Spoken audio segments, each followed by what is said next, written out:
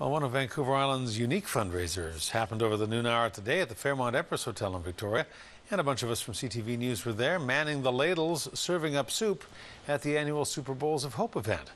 Also, uh, with a ladle in his hand was CTV's Bruce Williams.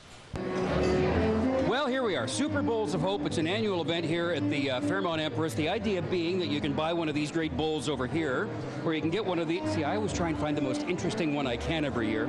So everybody comes up here and gets their bowl. These ones are actually free, made by people who contribute to the cause, and then there's some that you can also buy. But this is all something that's done as a fundraiser for the Youth Empowerment Society. And the idea is you get your bowl, and then somebody like our own Louise Hartland, who's right over there, would serve you soup, or Jack Knox, or Ken Kelly from downtown, and Ida Chong is over there.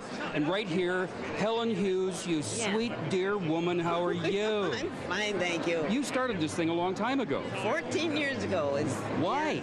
Why? Well, I saw that there were a lot of youth who were, and that's the 12 to 18 year olds, Yep. who were just hanging around downtown. And so I thought something's got to be done. We've got to put some programs together and have a place for them to be that's. And that's what the Youth Empowerment but Society Fun, but fun. Well, speaking of fun, look at this whole event just Yeah. spinning around us all here in this room. Have you had soup yet? No, I haven't, but I'll, I'll, I hear that it's excellent. In fact, I'll, I like all three, so I guess I'll have to have three bowls. Thanks for all you do, Helen. Just real fast, I'm going to run in behind here and talk to some of these people. For example, Vivian Chenard from Thrifty Foods. Hi. What are you in charge of? Uh, lentil soup. Is it good? It's awesome. A little bit of curry. Just a little tiny bit.